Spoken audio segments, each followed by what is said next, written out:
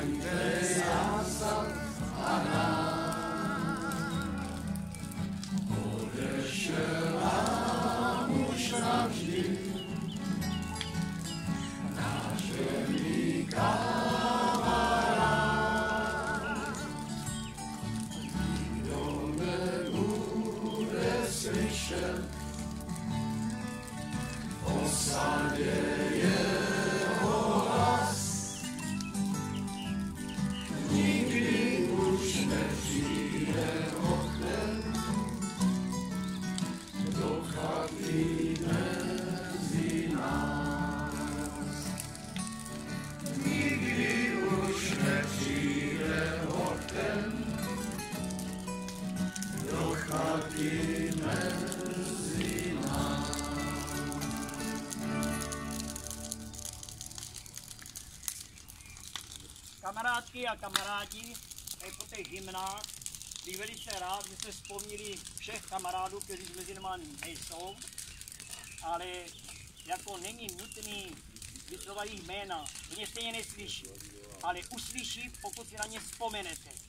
Tak proto bych rád minutu ticha za tyto kamarády.